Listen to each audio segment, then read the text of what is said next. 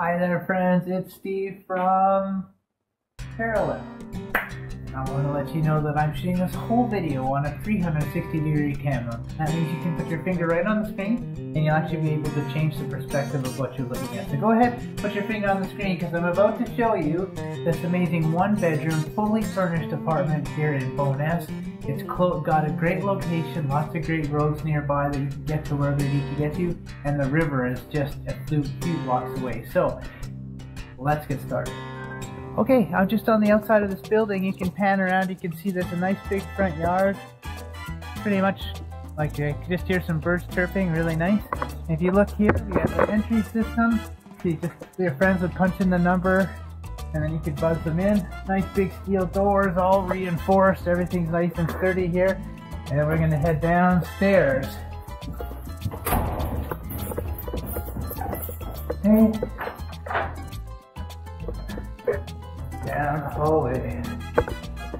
Okay, right here we have a full-size washer and dryer. They're coin operated.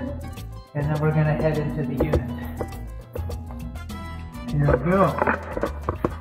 Okay, seeing a big closet right away. Nice open space. This all comes with the unit, the TV, you have some chairs and a couch, little dining room area there. Okay, this bathroom is looking good. Okay, nice wide sink, toilet, shower and bath. Come over to the kitchen, an apartment sized fridge. Actually quite a bit of counter space, cupboard space. I can show you the counter that cap, uh, what are these things called? the, the top of the counters here are looking are in great shape. A little bit of dings on the stove, but that's not going to help hurt you from cleaning. But all in all, a nice clean kitchen. Then into the bedroom. Okay, so there's a queen size bed here for you, some bedside tables, a place for your clothes, and then check out this walk-in closet. Lots of space for you. Okay?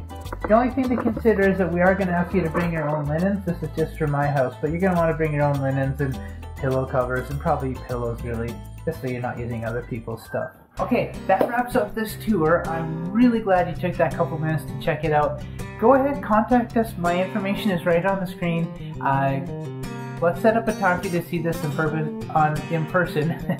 Again, my name is Steve. I'm happy to show this property to you in person. So just contact me on the, the info on the screen, okay? Have a great day.